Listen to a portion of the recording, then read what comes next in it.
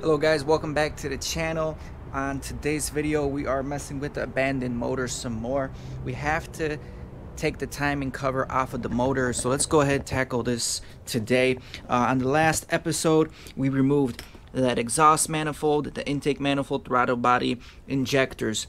We also removed that valve cover gasket and the whole valve cover and we saw a problem right here and the problem is pretty much contamination of antifreeze, which leads us to believe there is a blown head gasket on this motor, and there might be more issues on this abandoned motor. So we have to tackle it and check it out. So if you guys are interested in seeing what I'm going to do today, keep watching the video.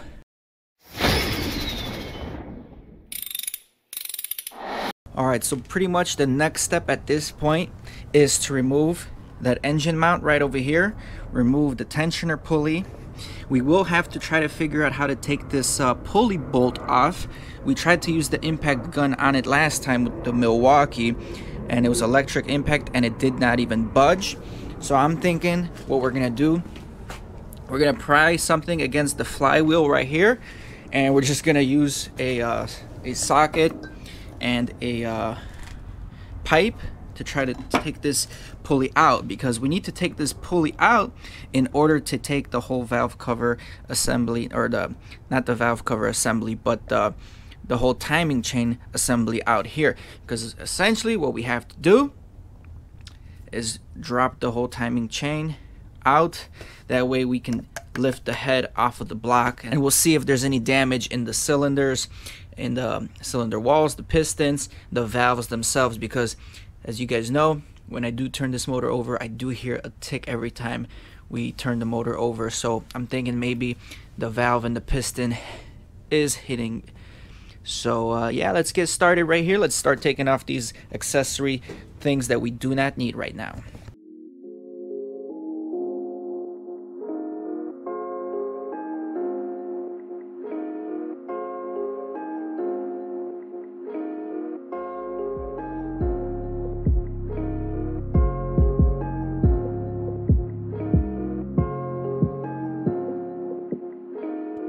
Alright guys, so we got a screwdriver probably right against the flywheel here.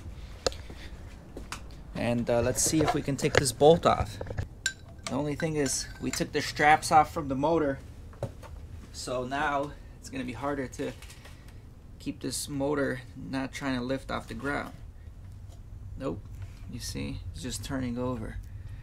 We might have to strap this puppy back down.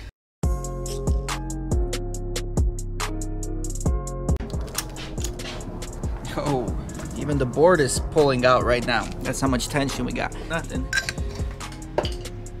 Oh no. Screwdriver fell. Nope. Nope. No cigar. Let's give it another shot.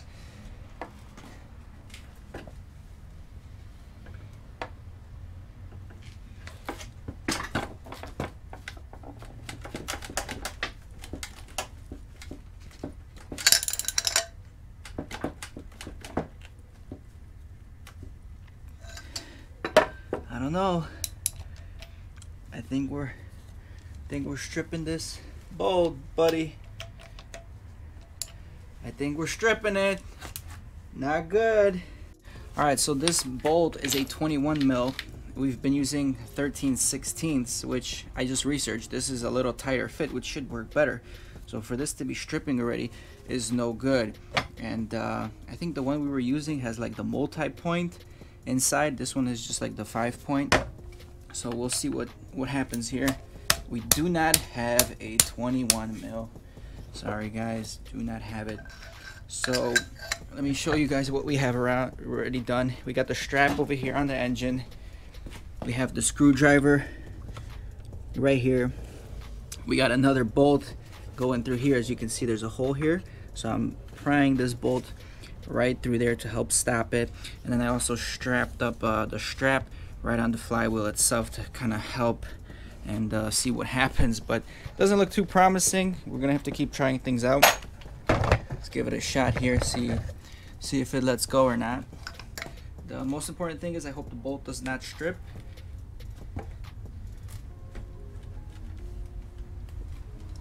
The bolt is moving. I think we got it. We got it, gentlemen. Hell yeah.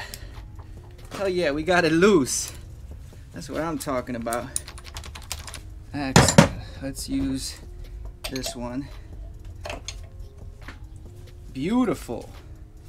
It worked. Ecstatic about this. This is probably going to be the hardest bolt we have to remove in this whole engine and that worked like a charm. But the bolt is a little bit stripped. You guys can see it, it is a little bit stripped. So it's not the best bolt to reuse. But let's keep going.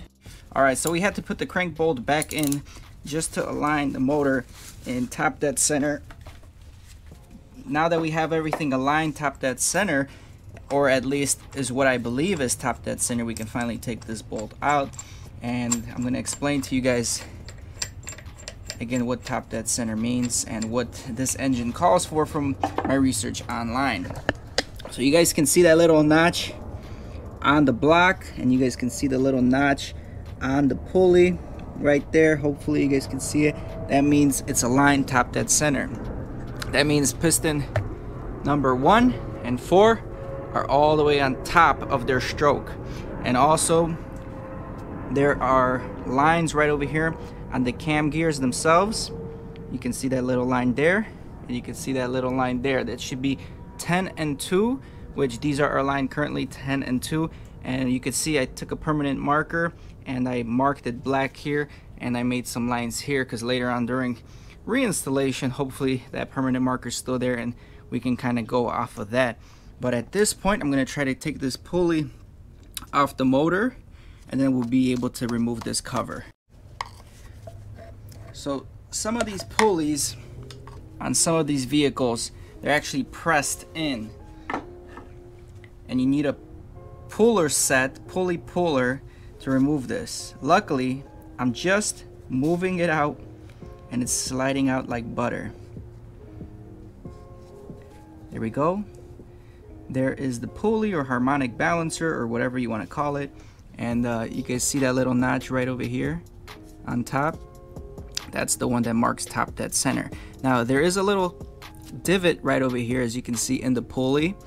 This aligns perfectly inside this little hole and that aligns the motor pretty much.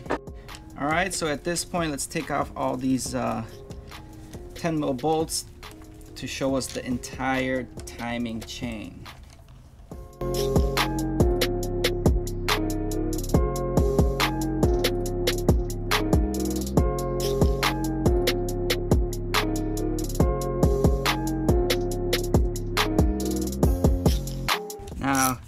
This is all hand tools.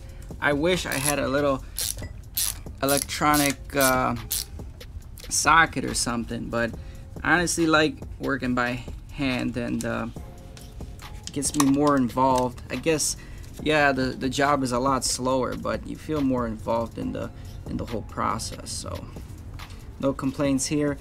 These little bolts, they don't go in any specific order, so we can install them in whatever order we would like. Some other components of the motor, we want to install the bolts in the same areas we took them out from, such as the head, from my understanding. So uh, we got all the bolts out. Let's take the screwdriver right now, try to see if we can pry this a little bit. There actually is a bolt right here we have to remove that I just noticed long one. Oh, we got some oil spilling on the bottom here. I'm hoping we don't get a lot of spillage. There we go. And we got oil coming out. Oil is coming out and it's looking nasty.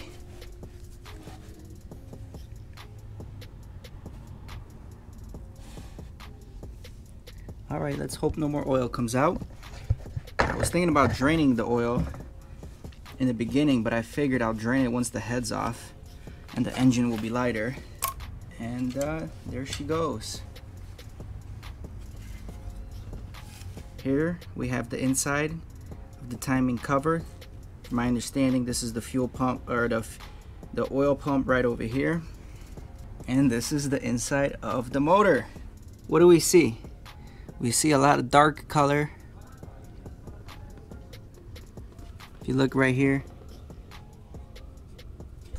just a lot of just sludge or dirt or whatever it is. Again, we can see the milky consistency throughout the whole thing. And one thing you guys want to look at is this little key ring or whatever it's called. It's right on top of the pulley bolt. This needs to be aligned because the pulley is going to go back on that bolt. The chain looks fairly tight. These guides are solid. The guides are not moving. Sometimes if the guides are broken, they will just uh, wiggle right out. So there's two set sets of gears here under tension. One set of gears is for the water pump, the balance shafts, and the pulley. And this kind of looks loose. I don't know if it's just me. There's like no tension on this one.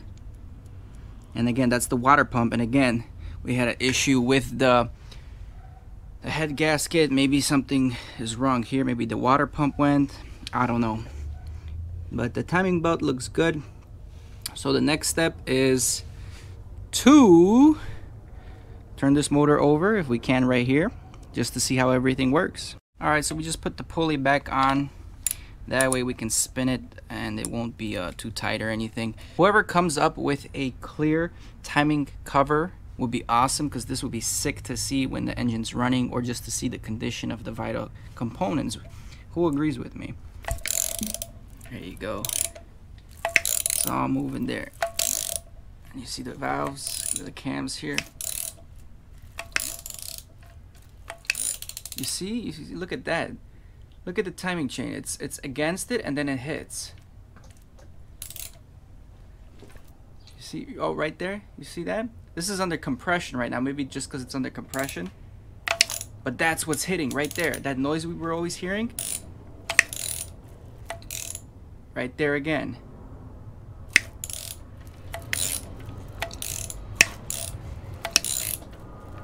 I thought it was um, the valves hitting or something, but it looks like that might be a problem.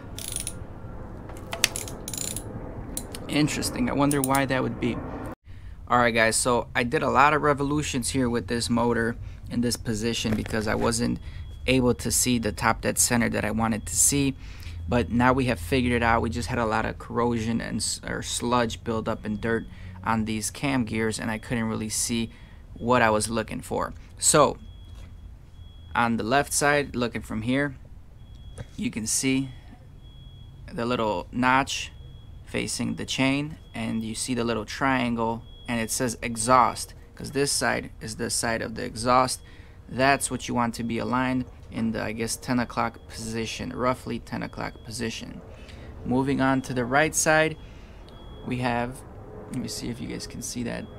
Again a notch and an intake stamped on again. This is the intake side. So this is in about the 3 o'clock position. So when you have your 10 and 3 and it says exhaust and intake and you know this notch right over here is probably aligned where we need it we can finally take this pulley out and then we're to look at the key the little the little thing that sits on the bolt. If it's on the 12 o'clock position we are on top dead center in the compression stroke and that's what you want. Because if you keep turning this you'll have different kinds of uh, indicators here but they won't be on the proper stroke. Remember, an engine like this is a four-stroke engine. There's an intake side, there's a compression side, there's an exhaust side, and some other side. I'll probably list that right now so it makes more sense. But I think we are good where we are right now. So let's disassemble this and then we'll go from there. Alright guys, so that's it for this video. We got the timing cover off. We already saw how everything is. We saw that the timing chain was hitting the guide on top during some of the um, strokes so that's interesting. If you know what the hell that is and why it's doing that comment down below because um, that's the noise I've been hearing and I'm curious what that is. On the next video we're probably gonna start tackling that timing uh, chain. We're gonna try to take it off this disassemble it dissect it. And again, I got no guides uh, for this engine. I got no um, books. You know, I'm just going off based on what I know and what I saw online of other people doing this. So don't flame on the comments if I'm doing something wrong, but do comment down below because I, I want to learn myself and get better. Because you know, down the road, I want to build a turbo motor for a car that we will buy in the future. So that's all a possibility. If we keep growing, this channel makes more income and uh, it's gonna be fun.